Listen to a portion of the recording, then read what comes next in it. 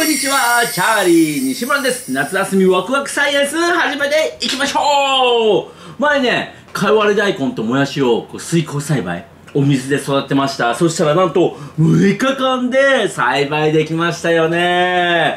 ところが、土で育てると、かいわれが大根にもやしが枝豆みたいになるって情報が入って、土で栽培始めました。栽培し始めてね、ちょうど、まあ、ほぼ2週間。経過いたしました。2週間経ったら、かいわれが大根になってるんでしょうか。もう、ふっさふっさ、枝豆になってるんでしょうか。それでは、見てみましょう。さあ、こちらです。おお大きくなってますね。えっとね、こっちがもやしちゃんなんですけど、もう、長い。ブニューって伸びてきてああの葉っぱもやしちゃんの葉っぱってねこう細長かったんですよ。あ立派になってます。見てこの大きさ。すごいね。そして新しい葉っぱが出てきます。あこれ本場だろうね。本場が出てきてますよ。こっちもほら綺麗に。わあ素敵。長くなってますね。発芽してす。くすく育ってます。みんなね僕の方向いてるんですけど光太陽の光がこっちからこうしてたんだろうね。太陽の光に向けてクニューって育ってるんだね。へえじゃあ次かいわれおおえ？え？これがあのかいわれちゃん？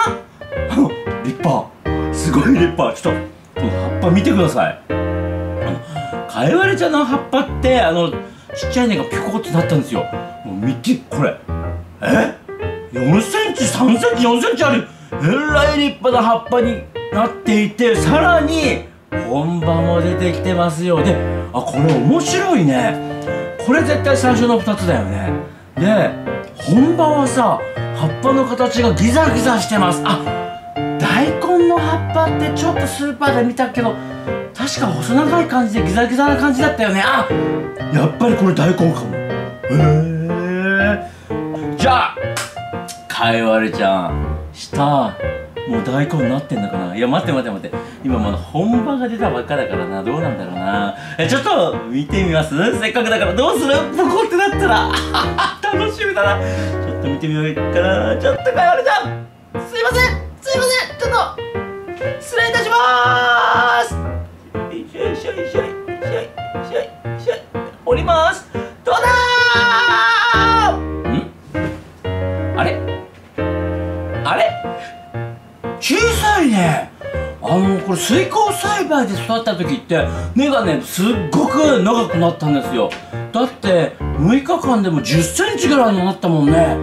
あれ？めちゃめちゃ短い。どうしてだろう？あもしかしたら水耕栽培の時は種の栄養だけ？あとは水を吸いながら行くから多分根がもう栄養を探しにビューって食べていろんなとこ探しに行ってんだろうね。ところがこれ土で育った場合もう野菜作る美味しい土だから肥料も入ってんだろうね。栄養満点なのが分かるから根をいっぱい張る必要ないんだろうね。えー、その分エネルギーをそっちより葉っぱ？葉っぱの方を大きくして太陽の光をいっぱい集めれるようにしてんのかもしんないね。へえやるなかいわれちゃん。じゃあちょっとまた埋めて戻してきまーす。はい。